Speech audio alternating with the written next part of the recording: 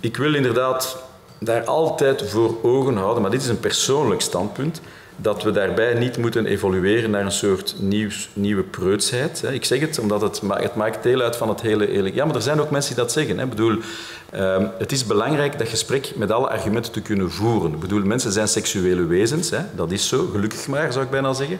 Ehm, maar dat maakt dus dat dat een element is dat altijd um, aanwezig is op één of andere manier. Hè. Liefst tijdens werkrelaties zo weinig mogelijk, want dat heeft daar dan niets mee te maken.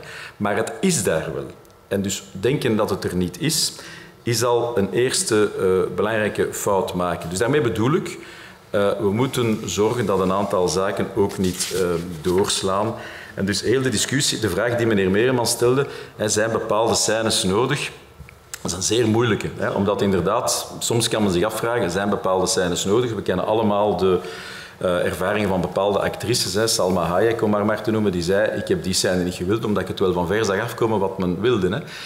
Uh, en dus zij had dan gelukkig ook al een zekere macht om dat te kunnen doen. Hè. Maar in andere inderdaad zullen ja, in, in omstandigheden terechtkomen waar het niet zo is. Ik vond dat de, de, de, de bemerkingen die Jan Fabre daar vorige week in een, in een stuk op VRT Nieuws rondmaakte, wel waardevol. u weet dat hij met zijn uh, acteurs en actrices daarin soms zeer ver gaat. Dat is niet nieuw trouwens. Hè. Er werd soms daaraan te wijten gezegd van in Frankrijk van ja, er staan vijf blote acteurs op een stuk. Het zal wel Vlaams toneel zijn zeker. Allee, ik bedoel, ja maar nee, dat is zo. Maar hij gaat daar zeer ver in. Maar hij zegt, ja, ik vind dat ik daar soms ook zeer ver in kan en moet gaan om artistieke redenen. En ik heb niet de indruk dat ik daar dan bepaalde grenzen mee overschrijd. Ik heb het nu niet eh, ad, ad personam, dat gaat mij daar niet om.